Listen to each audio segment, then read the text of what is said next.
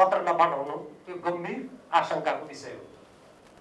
चर्चा भएअनुसार प्रधानमन्त्री शेरबहादुर देउवा अरू कुनै नामबाट एउटा नाम आएको छ पिस कर्पोरेसन अर्थात् शान्तिको लागि सहर यस्तै कुनै पित्तललाई सुनको जलप लाए जस्तो कुनै जलप लगाएर केही समय अगाडि यो अमेरिकी राज्य साझेदारी कार्यक्रमका सम्बन्धमा जुन दस बुधे मसौदा आएको थियो त्यो मसौदामा उल्लेख सम्पूर्ण कुराहरूलाई नेपालमाथि थोपर्न उहाँ भित्रभित्र क्रियाशील हुनुहुन्छ भन्ने व्यापक चर्चा छ। बाबा सनफ्लावर ओइल शुद्धता यसमै भेटिन्छ।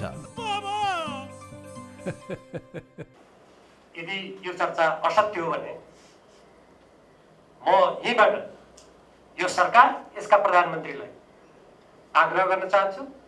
उहाँले पत्र पठाएर यसलाई झुटा साबित गर्नुहोस्। जति जति उहाँले यसमा ढिलो गर्दै हुनुहुन्छ त्यति त्यति यो कुरा सत्य हो भन्ने कुरा प्रमाणित हुन्छ। अझ अर्को पनि के सुन्नमा आएको छ भने आगामी संयुक्त राष्ट्रको महासभाका सिलसिलामा उहाँले अमेरिका भ्रमण गर्दा यो सबै कुरा गर्ने रे भन्ने पनि चर्चासँगै छ। जब सरकारले आफैले गरेको निर्णय कार्यान्वयन गर्दैन संसदको निर्देशनलाई मान्दैन संविधानका धाराहरू मिच्छ अन्तर्राष्ट्रिय संविधान समितिको निर्देशन मान्दैन।